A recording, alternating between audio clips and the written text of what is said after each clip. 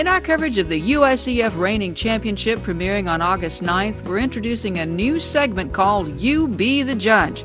It'll give you the chance to match your judging skills against the professionals. This new feature is being generously sponsored by the folks at Continental Saddlery of Ider, Alabama.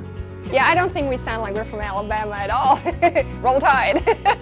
Actually, Heike and Oliver Dusterhoff came from Germany 15 years ago to bring the top selling European reining saddle to America individually handcrafted in Alabama.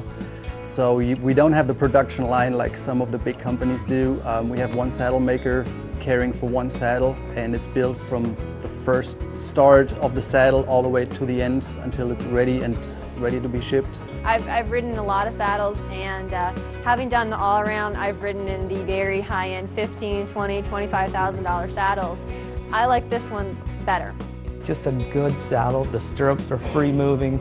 You can get your feet out in front of you when you need to. Um, it doesn't sit you forward. It, it tends to sit you back in the position that you need to be to go run and stop a horse and to turn one around. Try Continental's demo saddle program and you be the judge. Find out more and get a preview of our new segment at InsideReining.com.